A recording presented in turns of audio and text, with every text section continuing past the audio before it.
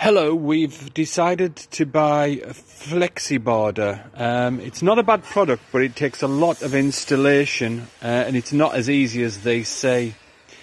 Um, first of all, we put the full border together because the dowels between each metre length are very difficult to install.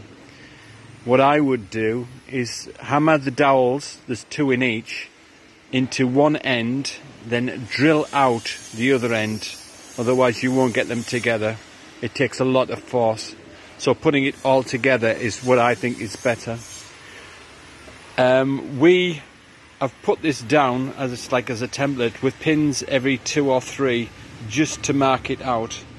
This is because we're going to put new turf down um, right next to it.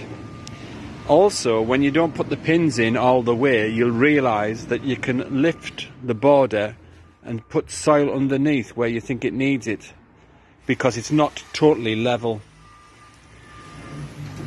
So when the turf comes, we'll make sure it's level with the rest of the grass and raise the border up or down.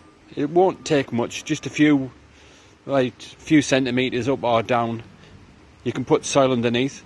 And of course, if you need to tamp it down, then you can actually stand on top of the border and compress the soil underneath. So, not an easy job.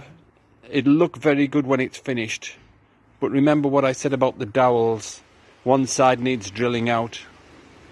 Not perfect, but they don't tell you that when you buy it. Alright, thanks for watching.